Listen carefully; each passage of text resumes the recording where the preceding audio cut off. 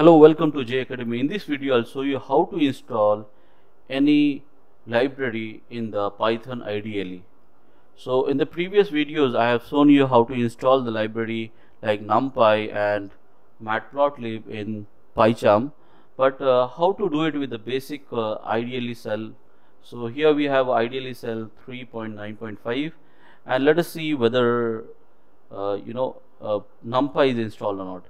So what I'm going to do is that I'm going to open a new file and I will first save it and uh, I'm going to give a name like uh, numpy demo.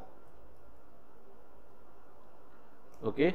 And then I'll write a program where I'm going to import the numpy as np and then we're going to take a np dot arange and we'll put a value of 9, 10 and then we will print this a.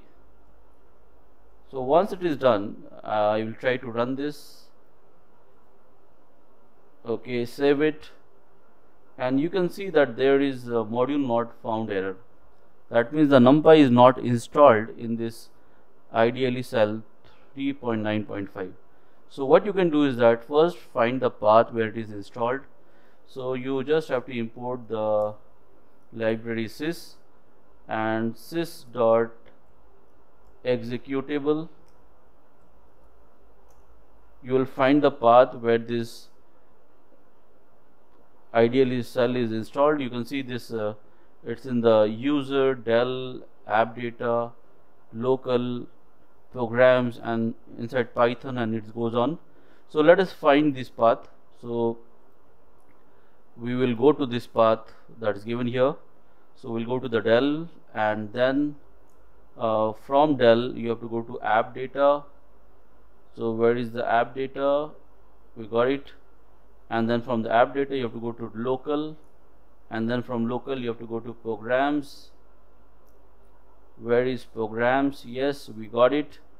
And then from programs you have to go to pythons python 39 and go to the script and here in the script you can see we have got pip pip 3.9 pip 3 so we want this path and in this path we want to open the command prompt. So what you can do is that just click on this path and write here cmd so or your command prompt will open in this this path okay?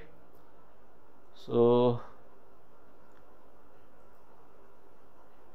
I'll just try to make the okay bold and make it 20 okay? So once you are in this command uh, this uh, path uh, where you have to just give the command as pip install numpy and run it. So again it depends on the speed of your computer uh, how much time it will take so it will take some couple of minutes definitely. Yeah I started working. And once it's over you can see that if you run the your import the package numpy is gonna work fine okay? So this is very important because uh, for any other IDE you can have a terminal you can write uh, this command pip installed the name of the package and you can install like I have shown in the PyCharm. But what about if you get in Python ideally how you can do that? So it's still blinking here. So so that is done okay?